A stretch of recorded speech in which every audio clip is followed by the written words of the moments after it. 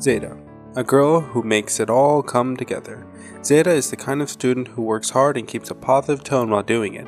She has recently earned a scholarship to the University of Texas at Rio Grande, where she plans to go to school. She won a total of $5,000 due to her high grade and GPA. She always remains on top of her grades and maintains a strong grasp on her goal in the medical field as a child surgeon. She's got her whole life planned ahead of her, but even despite this, she never forgets the importance of her friends. If you had a million dollars, what would you do with it? A million dollars to me? A million dollars. Whoa.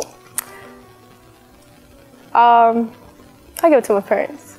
You'd give it all away. yeah, One million of them. one million. Probably keep a dollar. As you could tell, she is very selfless, the kind of person who puts other people before her. She still, however, maintains a personal life and a strong, successful academic life, but that's not all there is to her. She has a love for Mexican music and alternative rock. She's very open minded and very goal oriented. I'm already planning on my how to where to live.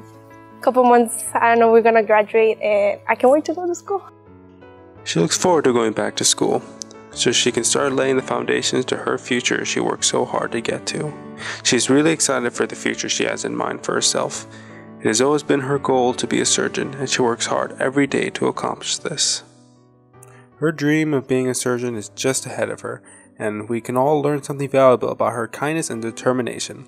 With that said and done, thank you, and see you back in the studio. Excellent. Thank you so much. That's it? That's it. That's oh all we have. All right, turn on both cameras. Bye.